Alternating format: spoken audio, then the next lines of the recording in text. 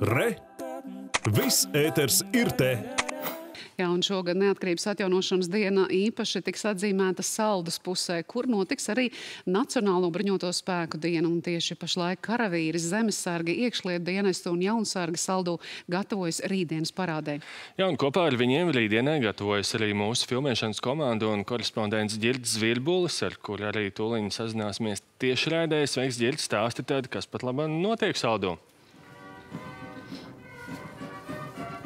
Sveicināti kolēģi, labvakar skatītāji! Šobrīd šeit saldu Oskara Kalpaka laukumā jau valda tāda, varētu teikt, svinīga atmosfēra. Šeit notiek Nacionālo bruņoto spēku parādas ģenerāla mēģinājums. Dažādas bruņoto spēku, arī robežsardas, policijas un jaunsardas vienības gatavojas rītdienas Nacionālo bruņoto spēku dienas parādei. Šādas īpašas NBS dienas organizēšana 4. maijā dažādās Latvijas vietās ir bruņoto spēku tradīcija, kas aizsākās pirms gadiem desmit, un šajā laikā tā ir notikusi dažādās vietās.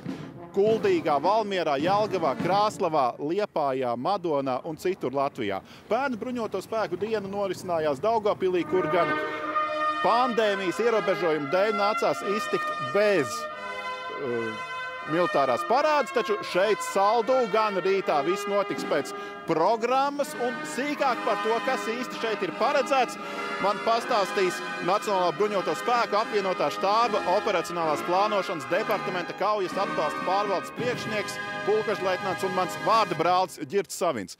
Labvakar, Ģirt! Sakot, kādēļ šoreiz tieši saldus ir izvēlēts poras vieta?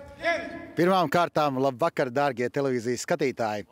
Un, uh, tradicionāli 4. māja parādas notiekās pie mums Latvijā novados. Un, uh, šī privileģētā iespēja izvēlēties nākošo parādas vietu ir mūsu aizsardzības ministram un šoreiz Pavrika kungam. Un, uh, tā šoreiz viņš nonāca līdz saldumam. Un mums, sakarā ar to, ka situācija ar Covid ir normalizējusies, ir ļoti liels prieks būt atkal kopā ar jums, ar tautu. Nu, katru gadu droši vien arī bruņotajiem spēkiem jāpacenšas un jāizgudro kaut kas jauns, ar ko pārsteigt skatītājus. Kas šogad būs tāds īpašs saldo, ko šeit varēs redzēt parādē? Es domāju, mēs parādē redzēsim šogad īpašas lietas, piemēram, jaunajā krāsojumā mūsu bruņu transportierus jaunos patrijas. Mēs redzēsim arī nu pat Latvijā ieradušās vienības no Dānijas karaliskiem bruņotajiem spēkiem ar viņu kaujas bruņu mašīnām Piraņa. Mēs redzēsim lielāko vēsturē, es domāju, arī gaisa kuģu parādi virs mums debesīs. Es tieši gribēju jautāt, tad kā izskatās ar laika prognozi, vai viss būs kārtībā un vēl ir šīs? Gaisa spēki mums jau ziņoja, kad viss ir kārtībā, debesis būšot zilas nedaudz mākonīši, bet visas platformas lidošot.